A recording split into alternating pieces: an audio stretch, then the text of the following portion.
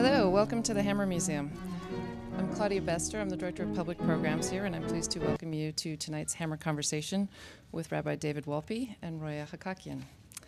Uh, I want to extend a special thank you to the Sinai Temple for co presenting this program tonight, and a very special thank you to my dear colleague Rebecca Small, who is the Program Director at Sinai Temple. Yay, Rebecca, and she's gone to great lengths to make this program happen tonight, so thank you, Rebecca. Our speakers today are Rabbi, David Wolpe and Roya Hakakian, and together they're going to discuss Iran, human rights, and the Persian Jewish diaspora. Rabbi David Wolpe is the rabbi of Sinai, Sinai Temple in Los Angeles. He previously taught at the Jewish Theological Seminary of America in New York, the American Jewish University here in LA, Hunter College, and he currently teaches at UCLA. Rabbi Wolpe is the author of seven books, including the national bestseller Making Loss Matter Creating Meaning in Difficult Times, and he has a new book entitled Why Faith Matters, which he has agreed to sign after the talk tonight in the lobby. In case you didn't already know, he's one of the hippest rabbis out there. You can uh, find out for yourself by following him on Facebook. He's the recipient of innumerable honors and awards, including being named one of the 100 most influential Angelenos by Los Angeles Magazine, one of the 50 most influential Jews in the world by the Jerusalem Post, and this year he was named the number one rabbi in America by Newsweek.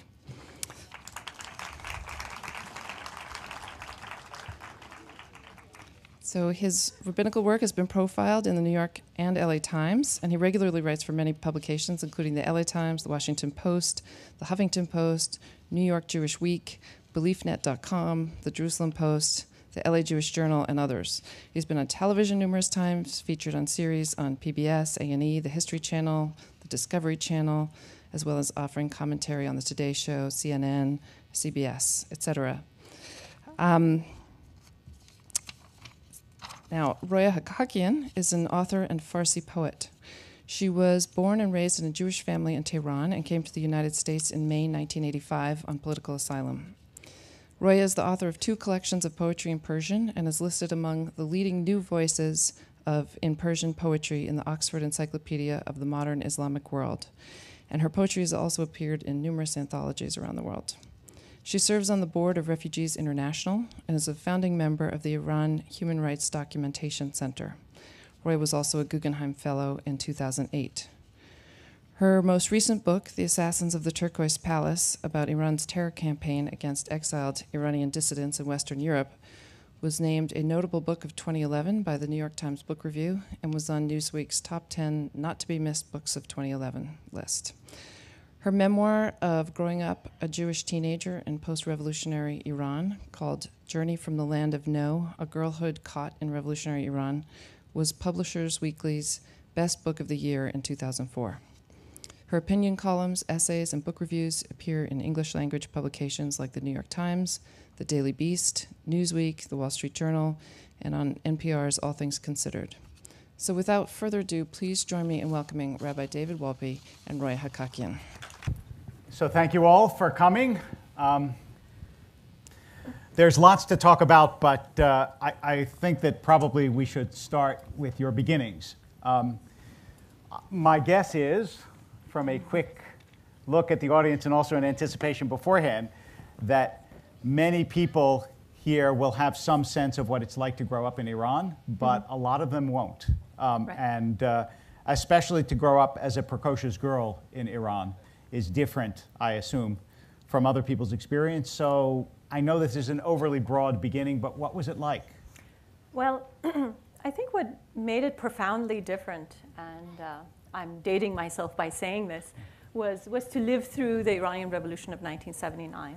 Uh, because I think Iran could have been very much like, uh, you know, perhaps uh, India or um, Iraq right. um, when we were growing up. But what what suddenly transformed everything was 1979.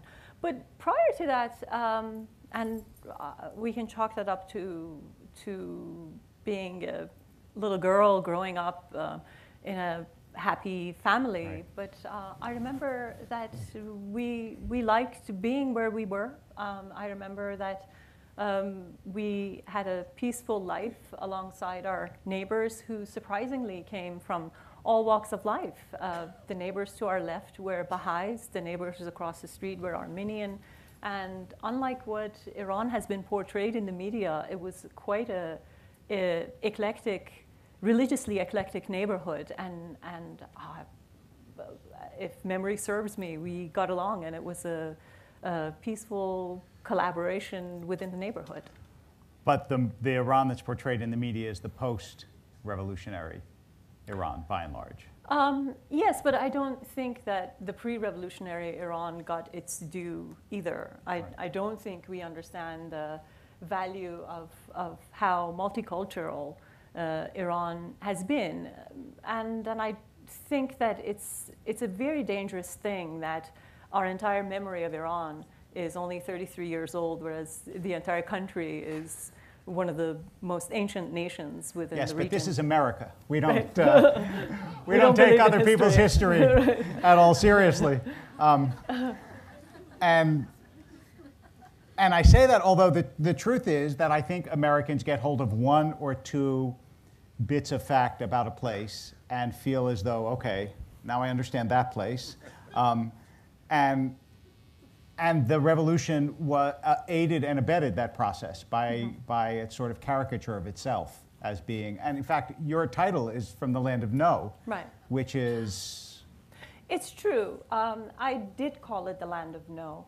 It was less because of the revolution or the rise of Ayatollah Khomeini, and more sort of this um, protracted experience of being a girl in, in a male dominated society.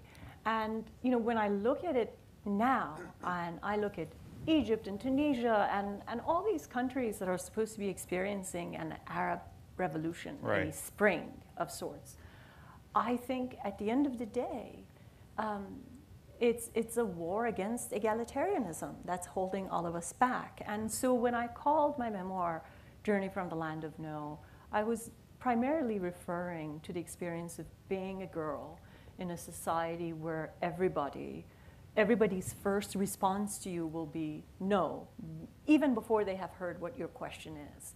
And I resented that profoundly. I, I remember, since you're a rabbi, I'm bringing you a childhood complaint, uh, which was, uh, Second, I grew, please take Right, notes. Um, I remember in the synagogue where um, we used to go to and was closest to uh, my home, which was Abrishami, and I was also a student there.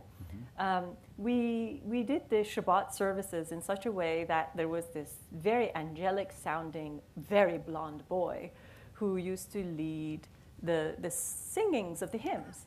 And uh, there came a point where I thought, what a fabulous thing he's doing. You know, he would sing Lecha Dodi, and everybody else would follow. It was just two words, but I thought it was fantastic that he would get his chance to belt this out. Right.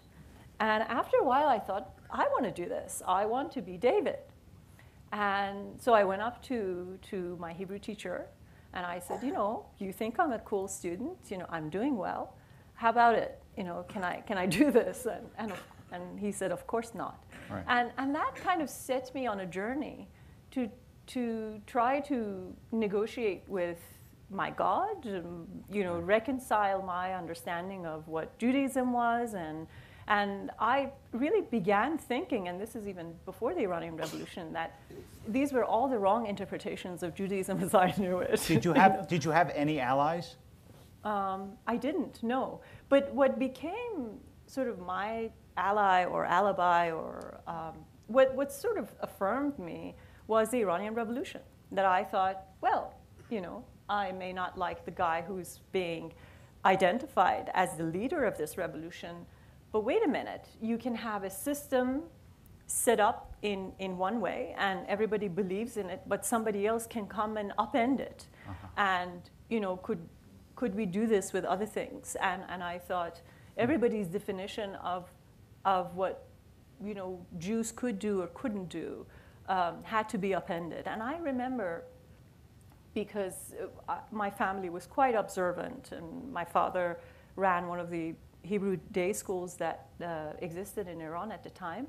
So uh, I, I considered myself a very devoted Jew. And at the end of my nightly prayers, I started having a dialogue with God, and I was saying, I know you don't like the stuff that they're doing over there. And you know, you and I will do something together. I mean, I really thought that uh, there was a way to reinterpret all of this, and um, and I think that the upsurge of the Iranian Revolution somewhat uh, put me on a path to think that one could challenge uh, what seemed to be unchallengeable. And I'm just curious, just to follow this thread for a second, had you encountered that at all? Were you aware of the possibility that that could really be done before you came to the United States? And were you shocked when you saw that there were female rabbis, female cantors? That in no, fact everything I, that you imagined was, was happening? I am sure I would be dismaying you by saying that, uh, you know, by the time that I got into my teenage years, I was done with religion altogether. You actually would I'm be sorry. surprising me if you said otherwise. Oh, thank Um, you. I thought you were is going right. to No, this is excommunicate no, me. this is this is par for the course. But I don't Um, live in California, so right, you wouldn't okay. worry me. No, But, um, but um, and my own rabbi back there no, we care. get them back when they have Right. kids. Uh, so, so but, I- but nonetheless, was it was it not? I mean, didn't you look at it with some wonder, even if you were out, felt yourself outside the system, to realize that that was possible in the world? No, um, because it, it, I mean, really, I, I was profoundly done with religion, and I thought it was a backward thing. And of course, you know, the rise of Ayatollah Khomeini and the Islamic system really just affirmed it. And and the stories that was being filtered to us in Iran about what Israel was like, because we, it wasn't like you know we lived in a free society and we had our own free access to the experiences of Jews in Israel to know that it was varied and, and multi-layered uh, convinced me that you know there was nothing to, to hoot about there either. So, so tell those of us who grew up here, Mm-hmm. what about growing up in Iran was better than growing up here?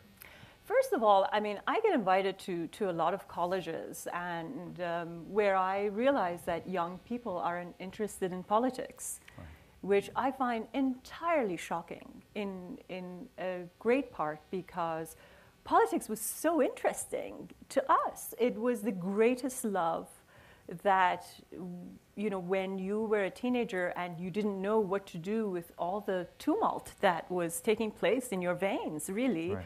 Um, you directed it at, at something larger than yourself. And and this notion now i can't really credit all of this to iran obviously because i don't think the generation that's coming out of iran today had the blessings that my generation under those circumstances had. But but the notion that I was bestowed when I was growing up that you have to care about something larger than yourself, which is in a way religious. It's just that there was no God in this particular um, brand of Scheme, right. thinking. Um, wa- was something entirely Iranian. I remember that, you know, as early as 13 and 14, we used to have, um, we used to organize groups um, and go mountain climbing on Friday mornings, which is the day that we have off in Iran. And the idea was that we packed very little food. So we would exercise the notion of giving to each other by the time we got up there and we were all hungry. Um, so, what was it like to have less food than we all needed? And what was it like to give it over to someone else? So, so all this training, um, being sort of a good citizen for your community, Right. caring about what happened to the society in which you were um, a member, um, and ultimately caring about some fundamental values um, which were conveyed to us through the wonderful filter of literature. Um, we all grew up, as I'm sure many members here, um, with a great deal of poetry. And, and it, it wasn't just about a combination of words, but it was also about values. Um, um, so all of that were things that I wouldn't switch with any other experience anywhere. You can give me um, Geneva and Switzerland, and I would still choose Tehran to have been born and raised in. do you miss the country itself? Um, yes and no. I mean, uh, the Iran today isn't the Iran that I Right. would like to go back to. Um, not that they would have me back, by the way. Um, as, a, as a reporter working with CBS uh, News, um, I applied to renew my passport and they wouldn't give it to me because they didn't want me to go back.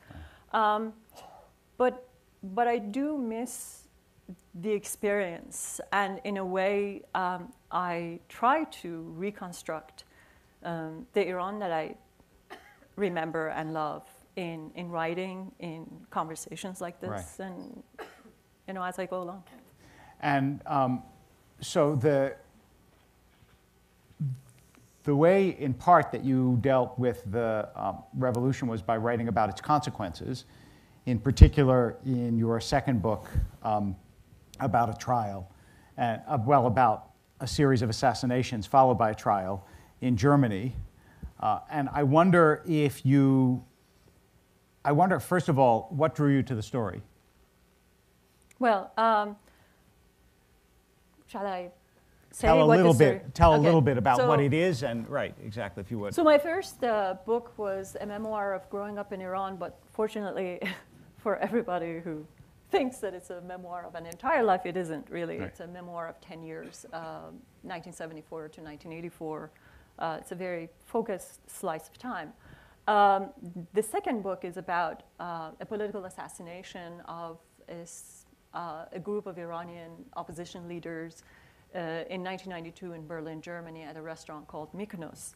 Um, so why did uh, a good Jewish girl who had written a relatively successful memoir Right.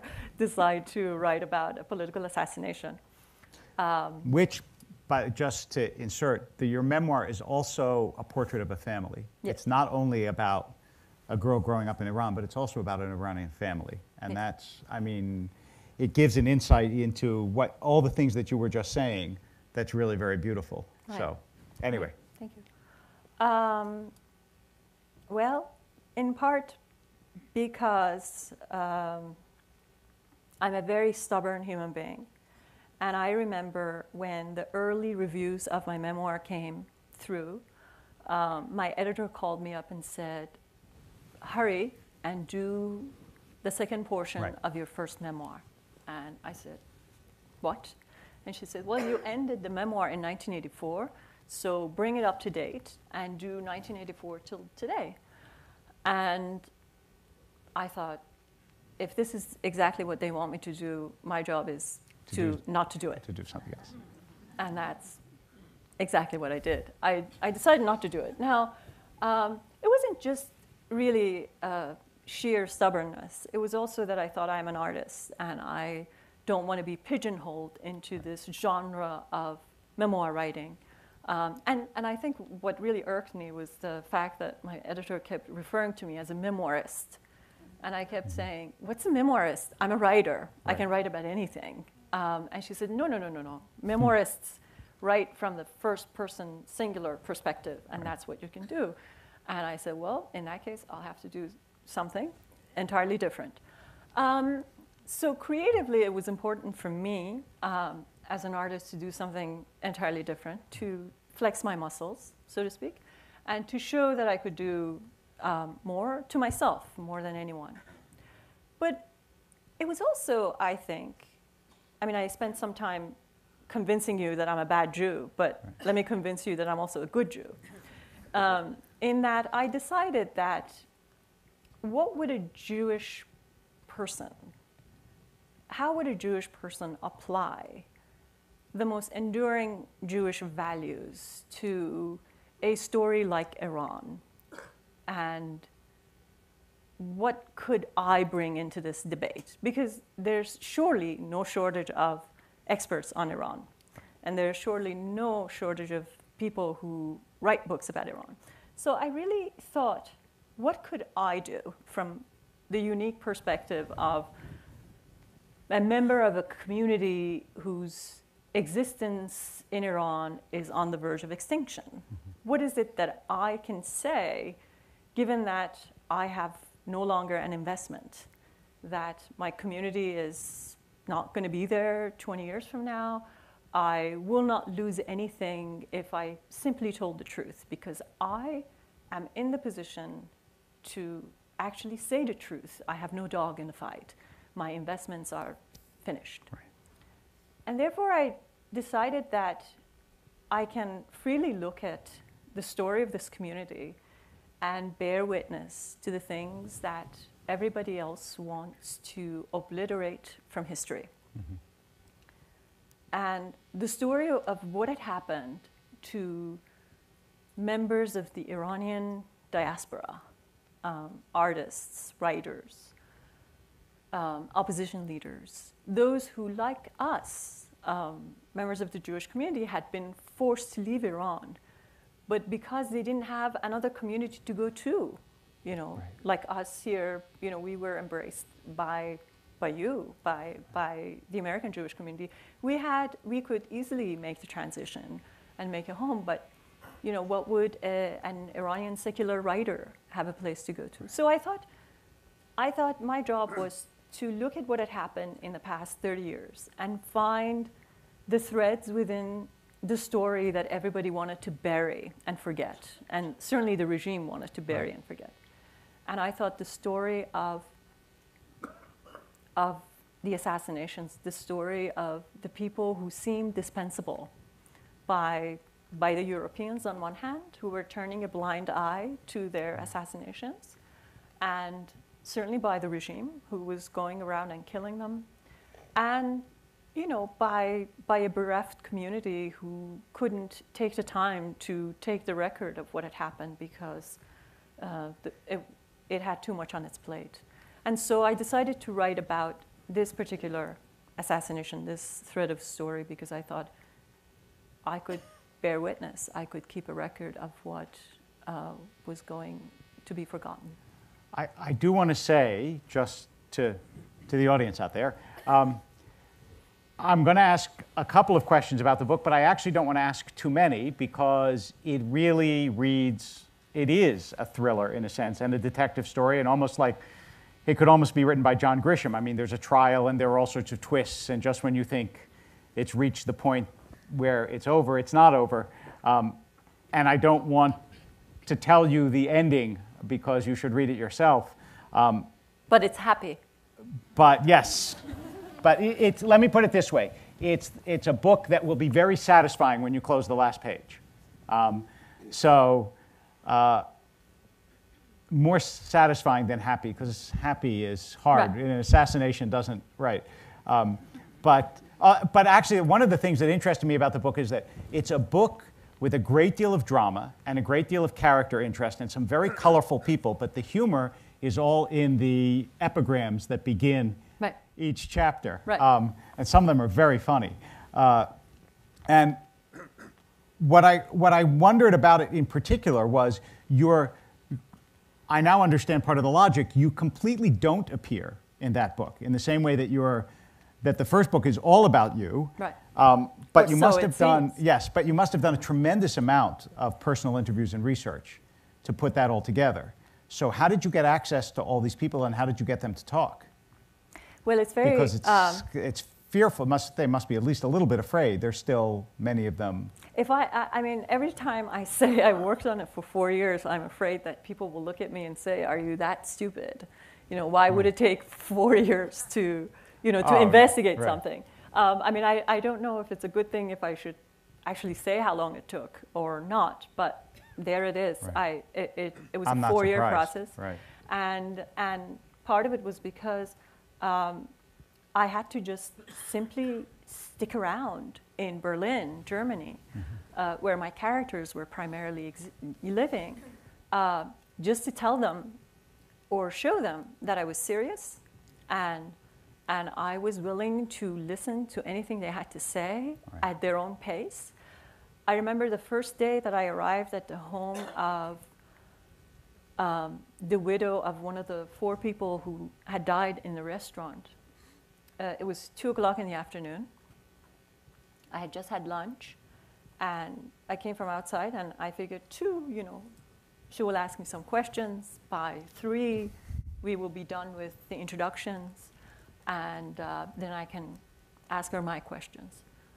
it was over pizza at 10:30 that I got the chance to ask my first question. Um, I spent eight and a half hours straight listening to her because I realized that I had to I had to hear the story, or rather, she needed to tell me the story that according to her own account, Right. the way she wanted to tell it. And then I had to listen to it in, in the fashion that a therapist or perhaps a rabbi will have to lend an ear to, mm-hmm. to someone and listen to the story in, in, the, in the combination of sentences that the person who's offering it likes to put it. And then, you know, after about eight hours, I allowed the reporter, the investigator in me to, to begin to ask the questions. Well, also, had, had you spoken to me first, I would have told you that Persian events always go longer than you think they're going to. Um, it's at least been my experience. So I'm going to have to take pizza you. at 10:30 is early. Actually, I, usually they don't serve the pizza till one, two in the morning. Um, but uh, but so was it? Uh, Oh, and the other thing was that the, um, you know, half of my characters or two thirds of my characters were Iranian, um, who were basically waiting for 15 years since this, this story had had uh, taken place to talk, and no one had gone to them to really talk. Uh, so they were filled with the story that they were busting to tell. But the other half, or one third of the population that I had to talk to, were Germans. And Germans are many things, uh, but being warm and talkative right. Not. uh, isn't among them. And, and so um, my hero, my, my, or I should say, one of my most important heroes, Bruno Jost, uh, who was the prosecutor of this case, uh, was a prosecutor. And, you know, I, I take Right. eight and a half hours to get to my subject. Bruno Jost would put me on a half an hour clock. And, you know, this just didn't work. And so I basically had to wait for him to retire. you know, right. right. from, from being a prosecutor. And once he retired, I remember I had to strategize because I, I sent him an email, uh, and fortunately, fortunately, and this is all lessons for my, retire, my own retirement when I teach a journalism class. Fortunately, his wife uh, was the English speaker, and he and so I com- was communicating with her. I wrote her saying that I wanted to interview them again, and so obviously he said, "Why? You know, I've already given you three 20-minute Right. interviews, and and 20-minute interviews wouldn't help me, you know, build character, build the scenery. I wanted much more." Um, so I said um, that I had some more questions, and I threw a bunch of them at them. And then I said, Can we all go to dinner together? Can I come to your town? Because I thought if I went to an office or something, he would still put me on the clock and Right. it would be the same story. And she said, What time would you like to come for dinner? I said, What about three o'clock in the afternoon? because I thought the earlier I'd start, the more time I would have. Because you know, if they serve dinner at eight, Yes. I'll have a three, four hour head start. And, and the wife came, uh, which was extremely lucky, but also by design. I wanted her to be there. So as he was walking with uh, my translator, who had been his translator throughout the trial, I asked all the romantic questions from the wife. How did you meet? I mean, the kinds of things Right. that he would have never allowed me to ask, uh, and he would have never answered. How did you meet? Where did you fall in love? You know, Right. but when did you kiss the first time? I mean, all the things that uh, no prosecutor, especially not a German, would have answered. And then um, by the time we got to the restaurant, it, this was the longest interview I, I had with him. And uh, it turned out to be sort of a, um, also a 10 hour ordeal. And uh, I have, I mean, this is the Hammer Museum. In the basement of my uh, house, I have a Mykonos museum um, where I have something close to several hundred hours of interviews Wow. with, with all the people that I've talked to. I have documents and evidence and transcripts and photographs of, of this whole thing. I, I, I want to get now to, to Iran and the diaspora, but but I'm just curious because your experience is so different, um, especially from people of my background and my assumptions. What did you learn about the German character from doing this series of interviews? Because in many ways, the Germans in this book come off extremely well. I, I, what I learned was that at least within the limited world that I wrote about, which Right. is uh, the German lawyers and judges, um, prosecutors, and, and you know, illegal Germans involved in this case, uh, they're deeply affected by the Holocaust. Um, and the Holocaust in this entire story was the elephant in the middle of the room. Um, you know, the, none, of, none of what I've written about has anything to do with Jews Right. um, or the events of World War II, but it had everything to do with it because, um, I mean, we would be giving away the ending of the story or the, how did you put it? I don't you, remember. you said I shouldn't call it happy. Right. Uh, satisfying. Satisfying, thank you. the satisfying denouement. Thank you. The satisfying denouement of, of my uh, book comes about as a result of the Holocaust uh, because this generation who um, got involved with this case as attorneys and judges knew that no matter what pressure German politicians placed on them, they had to do the right thing Right. because they didn't want to have to be the guilty party who had to deal with the blemish of something immoral, hmm. something that, that would leave them thinking that they had done the wrong thing Right. at, at you know when, when they could have made a major difference. And I think that sense of moral pressure um, in the backdrop of what had happened um, was so important to the way that they conducted themselves, which was uh, morally upright and really honorable.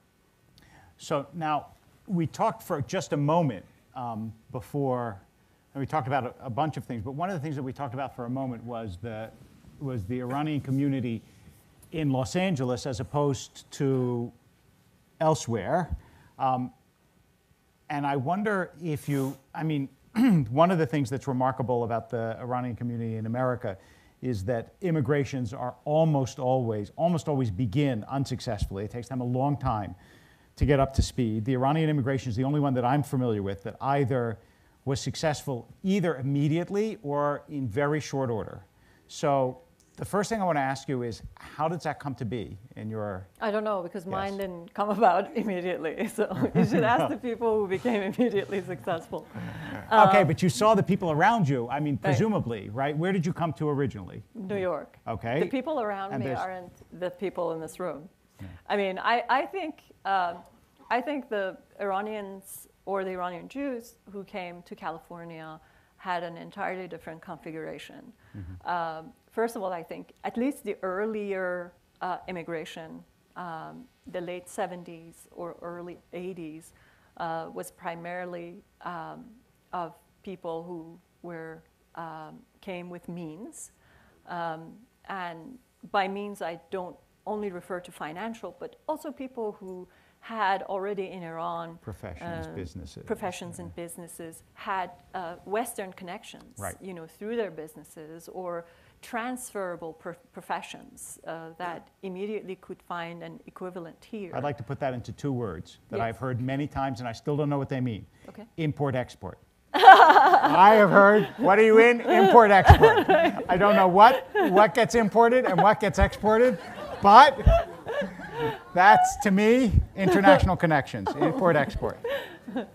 but also a, a generation of uh, kids who were bilingual already, you know, right. because well, they had first they attended, came educated. Right, exactly. uh, or they had attended bilingual Yes. schools. You know, when I came, I remember I um, they gave me the uh, TOEFL exam to take uh, when I entered, and I uh, and I so didn't understand uh, the questions uh, and the comprehension portion that I thought that there was something wrong with the tape recorder. So I kept raising the volume, you know, and and at the end, the room was shaking.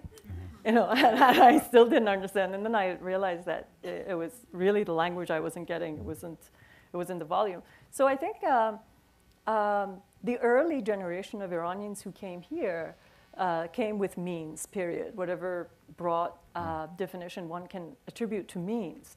But also, I think, fortunately, they created a blueprint for others to come and use. You know, they created an infrastructure uh, that made it possible for other Iranians to come into. Now, you know, we take for granted that, you know, we know here how to, you know, apply for Social Security or these things are given to us when we're born. Um, but you have to figure these routine things out, you know, where the DMV is and how to get your driver's license and where you can go if you have, you know, X, Y, and Z problems. And so the community created an infrastructure which could address all these things. And I think it came with, uh, it was a sort of a mixed bag because I didn't want the blessings of having a blueprint or an infrastructure because I thought then I had to also buy into the traditions that it came with and the limitations that it placed upon a girl. And therefore I said, okay. you know, as great as this can be, I'll stay in Connecticut, which is where I stayed. Um, so, uh, so that's. You're not the, going there, are you? No, I am. I'm actually, I'm actually going there. Um, what I want to ask you is this: that in, in order, what you're saying is that in order to get the blessings of community, you have to agree to submit to some of the strictures of community. Um, and that's, I suppose, that that's the immigrant tension in part, because immigrant communities do tend at first to stick together, and then each generation rebels to a greater or lesser extent against what the community demands of it. Um, so, did you, I mean, so where you went, did you have a community at all of Iranian that you connected to, or were you? Well, I sought uh, my own, which right. was um, the one I knew in Iran, um, literary community of, you know, Iranian writers and poets right. or people who were interested in um, literature, whether they wrote it or not. And uh, I found some, although uh, not at all comparable to, to the one that exists here. Right. Um, but I think it was also uh, in a way, a blessing because I missed not having the community I knew in Iran. Um, and therefore, I was pushed to discover my counterparts within the American community. And that took me to Allen Ginsberg at Brooklyn College. I mm-hmm. remember I thought, gee, you know, I, none of the poets I used to know or love teach here. Who can I find? And I was at Brooklyn College at the time and I was flipping through the graduate um, uh, course uh, program, and I saw Allen Ginsberg. I, I had read some of his work, and I through the course description there was uh, there was a little uh, byline that said um, anybody who wants to register in this course has to present uh, 30 poems. Um, in English, in order to get in, and obviously Allen had to like them. Right. Um, so I went to uh, Allen's office, and I had already published a book of poetry in Persian, and I and I said, you know, Mr. Ginsberg, I really would like to be in your class. And he said, okay, so you have poems. And I gave him my Persian book. And he flipped through the pages and said, groovy. and I think that meant that I was in. You know? Um, and it was a remarkably fabulous experience. And Allen was just the kind of person who um, I think knew how to read the things that he couldn't really read. I mean, right. how to how to read into a human being, how to read into a person, and just being around him was uh, was fantastic. And I I also thought that, you know, if I can hoodwink my way into his class, then maybe mm. I can hoodwink my way into writing in English, actually, yes. and um, which is what really happened. How much English did you have when you came here? Uh, um, I'm not a pencil. I mean, I, very little. Um, be, mostly because uh, in, in post-revolutionary Iran, at least in the, in the immediate years after the revolution, um, the Arabic was the right. second language that they um, brought into schools. And so there was far more emphasis on Arabic than there was on English. So if you were giving advice then to not even necessarily Iranian immigrants, but immigrants in general, um, especially women, what would you tell them is, was most helpful to you in making your way? I'm going to go have to have dinner with these people. I mean, I'm leaving tomorrow, but yeah. uh, I, I would say to girls that they have to really find their own distance, uh, at least for a while. Um, I, I mean, good families that value independence or really love their children will eventually um, embrace them regardless. Right. Um, but I think, you know, the, the cliche is true that if you love them, you have to let them go. And you um, think that some Iranian families have difficulty doing that? Do you? right? I just asked. What's with you people? Just asking a question. Do you think? I feel like you're trying to sort out your problems through this conversation with me. My feeling is, see, my feeling is tomorrow you'll be gone. So you're not going to get into trouble. Me, I'm just asking. No, I mean, we talked about the fact that obviously there's a different cultural standard generally for women in the Iranian community. It's many of them live at home until they get married. Many of them won't leave to go to college. Um, there are advantages and disadvantages to that, but my take on the way that you're describing your own experience is that you see the disadvantages as greater than the advantages. Is that well, yeah, but I think it, it also depends on the human being. I think I would have been, I knew from a very young age that I would be profoundly unhappy, right. unhappy to the point of being depressed um, and, and dysfunctional if I didn't do the things that I was driven to do. Right. Um, and therefore, you know, I, I knew that I had to do it if I were to, you know, be normal. Right. Um, uh, I mean, normal according to my own terms. Of course. But, um, but I think there are other uh, there are others who can, you know, who who aren't as driven, and I think uh, that it therefore presses them less. But I think in general, it, the other evolutionary um, destiny of, of where communities go tells us that this is what's going to happen eventually, right. uh, you know, within 20 years or 30 years or 40 years, because uh, we will remain in America long enough that one generation um, will give birth to the next, and the next generation will allow more than the previous generation did. And I think we can be revolutionaries and pioneers by jumpstarting the inevitable now, uh, because we know it's coming. We might as well make the lives of one generation easier earlier. Yeah, I, I'm, I mean, I don't you know agree, if this is. Well, I do agree. I'm, I do agree, and yet, um, especially because I'm supposed to be uh, asking you questions, I, the, the, opposite, the opposite argument presents itself to me as it has before, which is that someone will say, I understand that you want us to follow more along the American model. But as we look around at families, it doesn't look like the American model is anything so great to follow. And in fact, if I think about my own congregation, many Iranian families have dinners with, you know, 30, 40, 50 people, while next door an American family is having two people or one person. Or maybe the kid came home from college and deigns to stop by and say hi before they go out with their friends.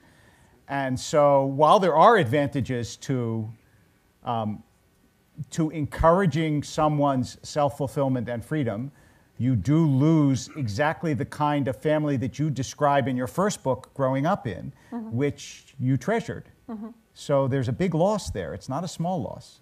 No, but, but you know, um, the community that was so together in Iran was, lived in an undemocratic society. Yes. And we have the advantage of a democratic society. We can feel that if we let our girls go a little farther from the mm-hmm. house, um, we have the blessings of, of a civil society that will keep them safe, uh, whereas we couldn't be so sure back About then, 35 years ago.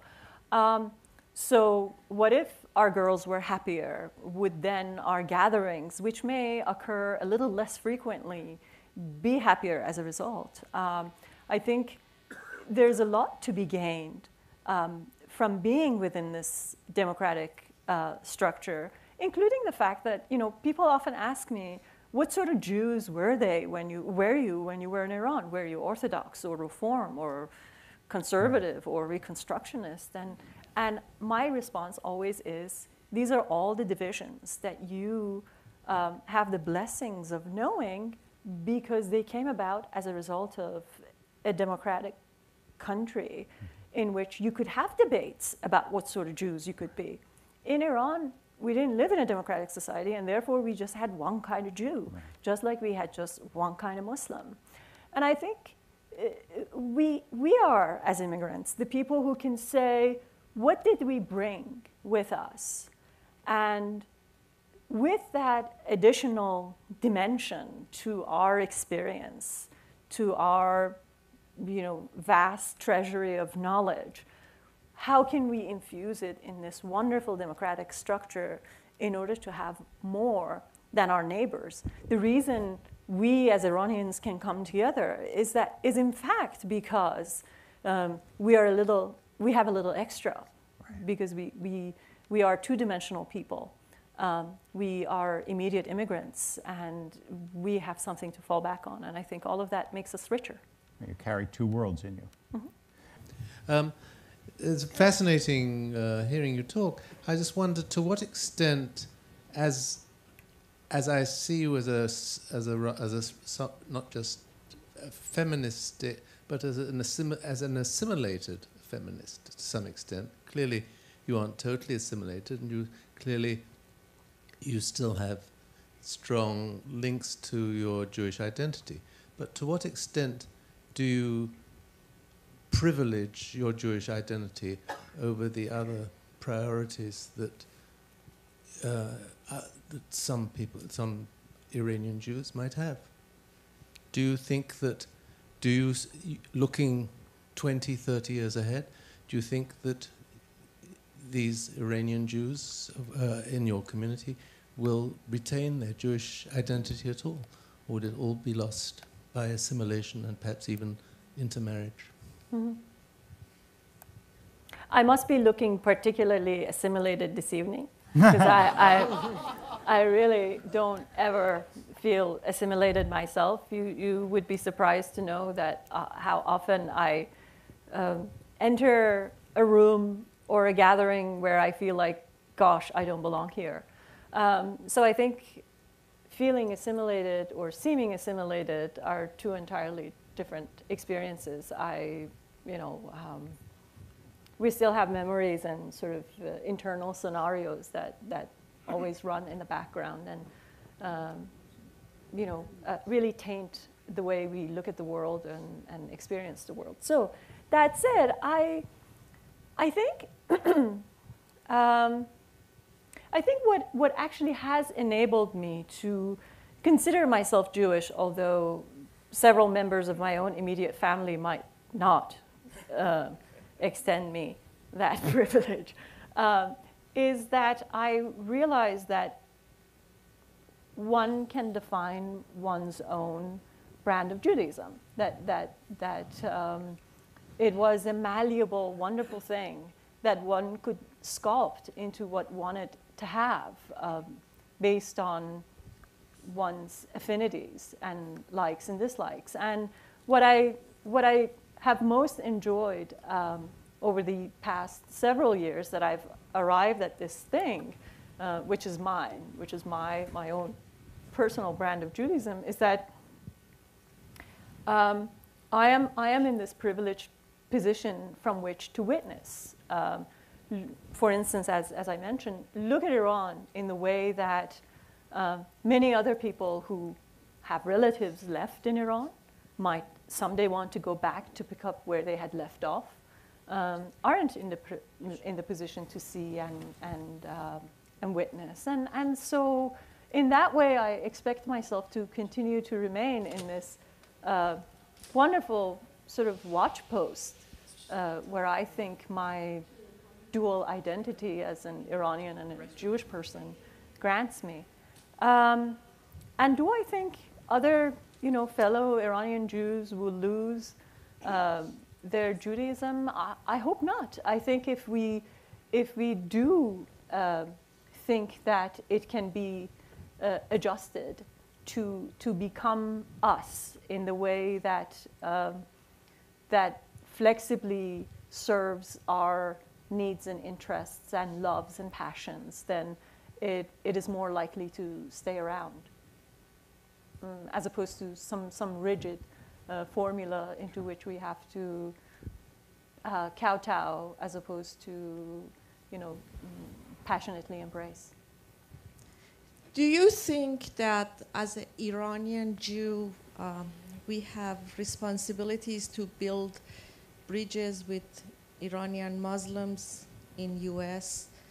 to improve the relationship and maybe reduce tension between uh, Muslims and Jews? Um, you should feel free to answer some of these questions, by the way. so you're asking me, does Roya feel that? Um, um, I, you know, I don't, I don't want to look at it as as some sort of a duty that we must perform. I think that uh, it's a pleasure uh, for us to um, be the ones who can uh, pave the way for. Uh, for a more peaceful life that resembles the life that we remember, perhaps not from the you know, from from the hundred years ago in Iran, where my father's memories are often uh, negative ones, uh, because you know so much was bad at the time. Iran was riddled with uh, so much poverty and um, and and just ethnic strife in general. But I think um, most of us in this room can agree that the 60s and the 70s in Iran uh, were good times, uh, times of religious harmony, ethnic harmony, that the country was heading in a, in a far more harmonious direction than it, it ever had. And I think um, it, it would be wonderful for those of us who have been witness to that history to, to do the right thing by, by recounting those memories, by, by offering this uh, counter uh, uh, account of what's what Iran has been like because uh, you know it's portrayed as such a you know in such a biased view today that for those of us who who know better who have seen otherwise um, yes I think it, it would be um, a wonderful thing to do but but not just because it's a, it's a duty to do so, but also because I think um, it can be an enormous contribution uh, at a time when so much is at stake. I, I actually will address that because I, I think that it's also worth noting that the question is so radioactive. Um, the mutual fear and the triggers are so quick that in theory, building bridges is good. In practice, what often happens um, is that you get pilloried by your own community for trying to reach out to another community.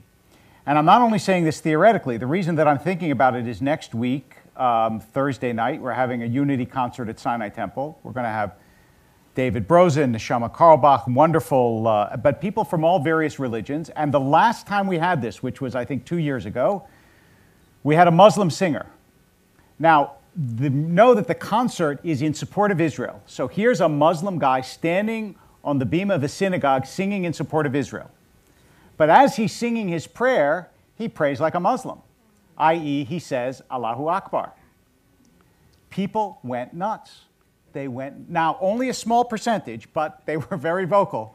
Um, I still have some of the emails, and they weren't kind. Um, and it's because, and, and when I would write back and say, look, I know you're upset at what was said, but you realize that this was a Muslim who was coming to a synagogue, and you realize the coverage that takes and so on fell on deaf ears. And the people who were most upset, other than one particular couple that was not Iranian, were Iranians. And I still hear about it. You're the rabbi who let a Muslim come to your synagogue and say Allahu Akbar. So when it becomes that automatically fear inducing, it's very hard to reach out. And generally, what happens over time is that the unfortunately, on all the sides, the people who would reach out tend to decide that it's not worth the very small group that cares about it to endure the pressure and disapproval of the much larger group that doesn't want to hear about it. So, yeah, it's a nice idea in theory, but you know, look, I, I, Republicans and Democrats can talk to each other, right? And and they're not. And this is not. Uh, this is a sort of lower level intensity conflict. But but if me, if any of you have friends on both sides of the divide, all you have to do is check your email today, and you know that I'm not just talking about people who were mildly upset. I mean people who were literally incapable of believing the other side was, you know, bipedal and human. Um, so that makes it tough. That makes it tough. Bipedal is excellent. Yeah, right. Um, my question for you is about your book and the assassination. Um, not so long ago, there was this plot against the Saudi uh, ambassador um, that it was right about when your book came out, it was almost like you had planted this whole plot to promote your book. How do you feel? she said almost like, almost like. How do you feel about more assassinations and whether CIA or the Western world is aware and is doing everything possible to avoid all what's going on behind mm-hmm. the scenes? Um, I think uh, so. I think what, what really happened as as sort of the positive upshot of the trial I wrote about, which concluded in 1997, uh, was that Iran eventually, and we are giving away the ending of the book, by the way, but um, uh, Iran was eventually uh, forced to seize uh, its terror operations, at least in the Western world. Uh, so in Europe and in the United States, um, Iran did no longer carry out uh, attacks um, on Iranian dissidents, or rather, I should say more specifically, on, on a list of 500 individuals uh, whose names um, had been drawn uh, by Ayatollah Khomeini as early as 1979, and you know, hit squads were going around the world, uh, you know, getting rid of one after the next. Um, um, so that that ought to be considered a huge accomplishment by an international community that has been trying over and over and over for the past 30 years to figure out a way of dealing with Iran. I, one would say that it was a pretty cheap way uh, you know, you know, right. no, no bombs were dropped, no bullets were shot, and yet the regime started to behave. Um, but all of that, as you say, changed last year when we discovered that there was a plot against the life of the Saudi ambassador in Washington, and in fact, um, it was precisely sort of if had it had been carried out, it would be uh, the same location. You know, I mean, a similar location in that it was going to be a restaurant in Washington, so on and so forth. Um, and then there have been plots uh, in Indonesia and in India and, and all sorts of other places. Um, one can expect that as the pressure on the Iranian government increases through the sanctions and, um, and further on, uh, that these types of behaviors would increase, that the regime will uh, react, or elements within the regime will start to react uh, in the ways that they knew, uh, because all bets are off now uh, because the pressures are so much. Hey there, I'm a senior at UCLA, and I'm here. I'm the president of the Persian community at Hillel. We're here with a group of 20, and my, what I wanted to say was it, it saddens me that the the new Persian Jewish generation in America is almost ashamed to say that they're Persian Jews, and when they talk to people that aren't Persian and Jewish, they, they don't like to identify. And what what advice do you have for the for the new Persian Jewish generation to to be engaged and to spark passion into identifying with being a Persian Jew? And I, I emphasize Persian. And my first advice is to drop the term Persian. Um, we're not cats, we're not rugs, uh, we're people. And the last time we looked at that country, it's called Iran. We're Iranian Jews.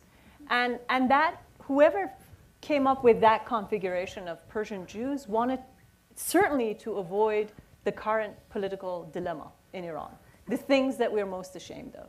Khomeini and the 1979 revolution and the angry people throwing their fists at the cameras. So, th- so we are, you know, if you, you can't create pride in Persian Jews because if they were proud, they wouldn't call themselves Persians to begin with. We're Iranian Jews. And the entire legacy of Iran up until last year is ours. And that includes Khomeini, and that includes you know, the takeover of the American embassy, the 52 hostages. We, it's, it's all ours. And, and we have to realize that, you know, as long as we call ourselves Persian, we're trying to dissociate ourselves with all the bad stuff. And, you know, we have to start meowing, uh, really. But, but, we can't do that. So let's have a conversation about, you know, about all of it. You know, all of it is our legacy. And all of it, in a way, is, is, about, is, is, is something that we have to be accountable for or we have to be able to uh, claim as, as who we are, as, as the forces that have shaped our identity. Um, uh, and, you know, it, it, it, but I think those of us who are Jews and are in this room, um, again, can probably be in a, are probably in a better position to defend that because we're the ones um, who are least likely um, to have other relatives remaining in Iran. You know, oftentimes uh, Iranians who are afraid to say it like it is, to tell the truth, must worry about uh, community members, extended relative, mem- members of the extended family who are still back there and they have to defend uh, or worry about. And, and they can't really speak in a, you know, tell the truth or, or speak in an open fashion. Um, we are often not in that position. Uh, we can tell the truth. And I think um, we are in a very, very important historic position to, um, to, to bear witness, um, to remember things really as they were, not as you know, certain prejudices um, tell us to remember as. You know, it's very hard to uh, not allow other people to write our memories for us, to, to, to become the writers are our own witnesses and memories. And it, now, as I remember it, yes, my father talks about terrible things growing up in Iran when he was five, six, seven years old. My father uh, grew up in a very small village and he once was kept at home um, because it was raining nonstop for a whole week. And, he, and Jews were not allowed to go to public schools on rainy days because they were considered najis, they were considered dirty. Um, so that's a terrible thing that I grew up with. But as he told me this, he told me something else that I think is equally important. That one day when my grandmother got fed up with the rain that wouldn't stop, he, he took my father's hand.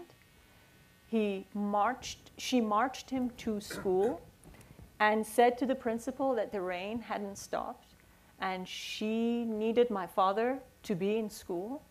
And the superintendent who was visiting his school from Tehran heard the story and was very angry. So the superintendent marched my father to the classroom, told my father to fetch a glass of water, And he did. And when my father fetched a glass of water, the superintendent told my father to drink a sip from that glass of water. And he drank a sip. And then he said to my father, Now give me the glass. So that was the dirty water that the Jew had drank from, right?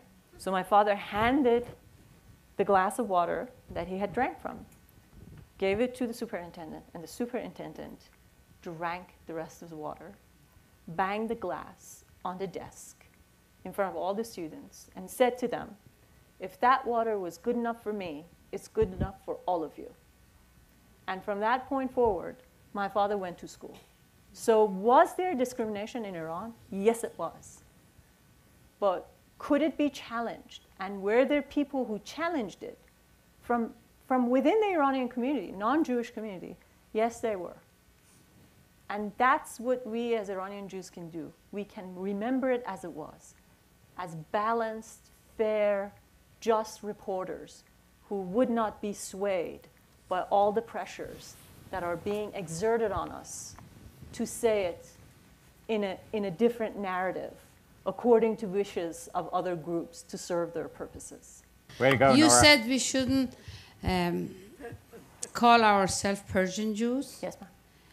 but as I remember, Iran was called Persia for thousands of years, and only the last hundred years or less than hundred years is called Iran. So it's not un- inappropriate to say we are Persian Jews, But it's not called uh, Persia anymore. but still we feel ourselves Persian. You can say you speak Persian, you know, your langu- the language you speak is Persian. That would be the right term to apply to the language. But as a nationality, you can call yourselves Persian, as so many of you here in this room do. But what, that hap- what happens as a result of that is that you dissociate yourself from the, from the latter 100 years.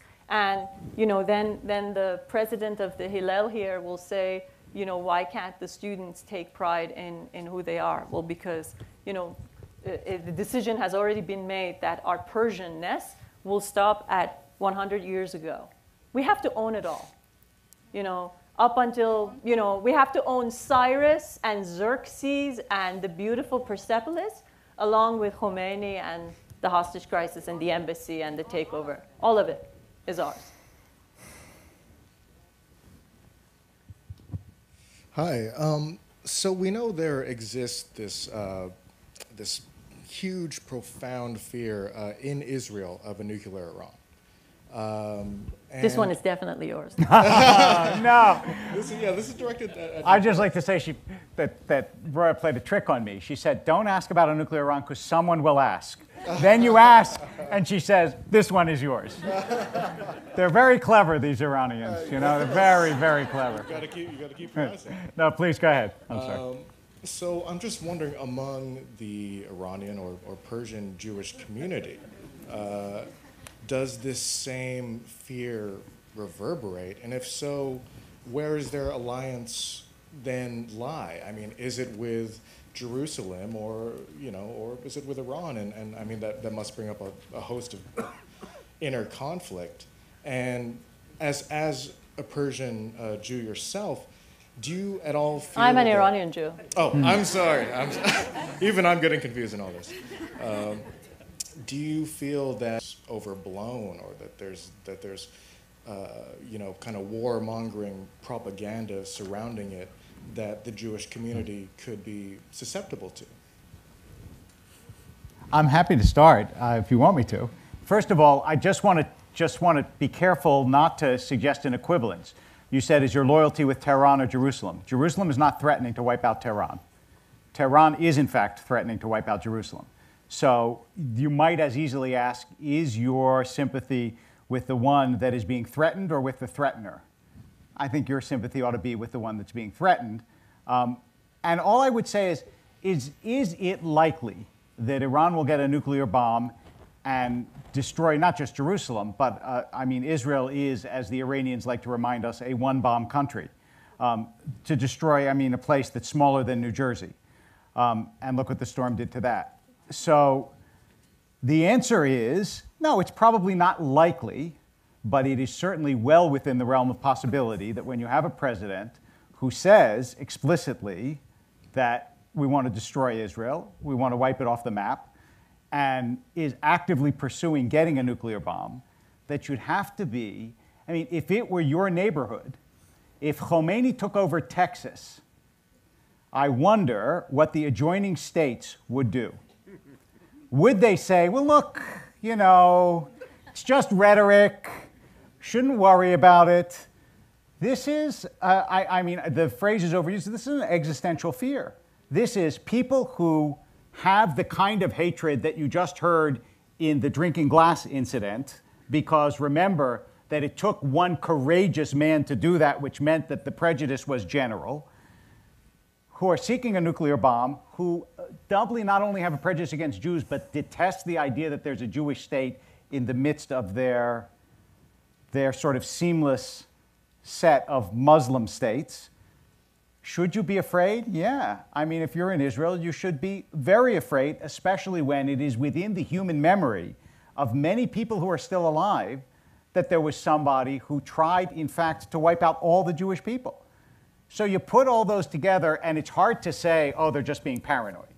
You might say it might not happen, but if you were the one who was responsible for the safety of the people who were being threatened, I think you wouldn't sleep very well at night. And, and I'm sure that whoever the prime minister of Israel is doesn't. Your turn. That was very good. Uh, so- um, I, uh, I think that I feel about this question that I often get asked uh, in the same way that I feel about the term Persian Jew.